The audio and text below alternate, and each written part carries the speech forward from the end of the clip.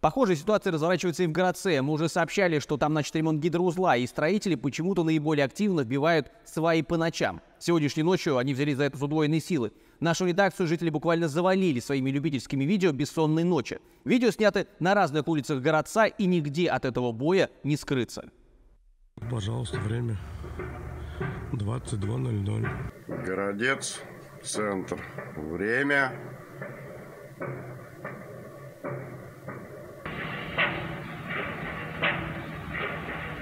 Наши развлечения продолжаются. Время пол первого ночи. Работа у них кипит. С 9 вечера как начали, так и не перестают. Пол первого ночи. Опять стучат. Мы живем на низу, то есть еще ближе получается. Я вот сегодня, ой, то есть, ну, вчера ночью, получается, мы посмотрели новости, в 9 часов пошла ее укладывать спать. До половины первого я пыталась ее уложить, но просто это было невозможно. Вот этот вот стук, у нас окна деревянные, старые. Такое ощущение, что это под окном кто-то барабанит кувалдой. Я не могла ее никак уложить, она вскакивала. И весь день она просто капризная. Конечно, живем чуть подальше, но шума э, такие же примерно. То есть э, это продолжается, наверное, с летом. Вы знаете, сколько сегодня было звонков в службу 112?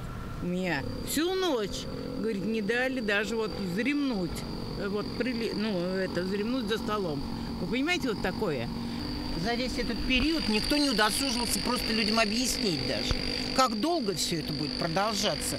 Ну, мы живые, мы понимаем там какие-то свои сложности в проведении подобных работ. Но это же длится не первую неделю. А где нам его увидеть? Обращайтесь к главе администрации. Ну вот у вас есть с собой рация, вы, наверное, сможете кого-то вызвать. Да, рации-то у вас есть? Вопросы были. Почему они ну, выйти с нами на контакт не хотят? Не ко мне. Не надо, не надо, не А позовите, пожалуйста, нам руководство. Что вы сказали? Мы в прошлый раз прождали 40 минут, нам так никто и не вышел. Задавайте все эти вопросы вышестоящему руководству. Вы нам его предоставьте хоть кого-нибудь из них.